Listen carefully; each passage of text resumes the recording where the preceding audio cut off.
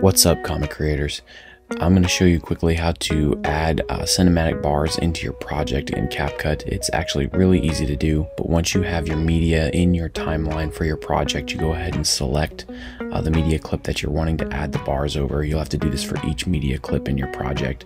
As you have it selected in your right hand side of your screen, you'll see your menu options for editing and customizing your clip. In that menu option in the top, one of the tabs actually says mask, and you're going to want to go ahead and click on mask, and that's going to give give you the option to add these bars over the, the video clip of your project. After you do that, this will open up the options that you have for overlays onto your project, but the one that you're looking for is film strip. Uh, and once you click film strip, that will add uh, thick uh, black bars over your video clip that are adjustable and you're able to customize them to whatever size you want them to be. And the way that you customize them is you'll see these two uh, white bars pop up on the video itself if you click any one of those uh, white ones and drag it up and down, it'll adjust the size of the crop or the overlay uh, for that cinematic look on your footage to the level that you want. And once you have that level, you just go ahead and uh, you know leave it like that, and that will add that cinematic look to your clip. Now, the easy way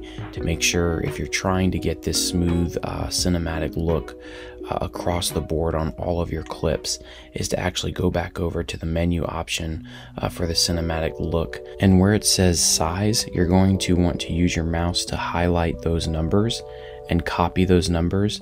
And in your other media clips, when you add this film strip overlay onto those clips, you paste uh, those size numbers into that uh, same option for your other media clips, and that'll make sure that um, all of your uh, film or cinematic bars that you're adding to all of your clips are exactly the same size and they're not um, different all across the board and that's just the easy way to do that. So everything's in unison and it looks professional. But for the most part that is everything that you need to know in order to quickly add uh, nice professional looking cinematic bars to your project.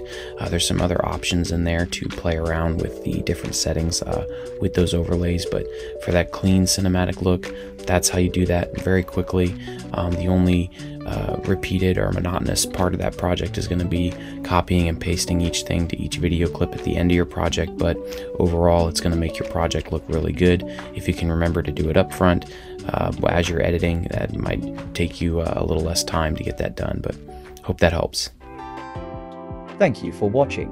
If you found this video helpful, please take the time to like, comment and subscribe as it helps us to further please our YouTube overlords. Check out more links in the description for continued assistance on your CapCut projects, and please keep your arms and legs inside the craft until it comes to a complete stop. Be sure to mind your headspace and watch your step as you exit. Failure to comply may result in serious injury or death. We will see you next time, Comet Creators. End transmission.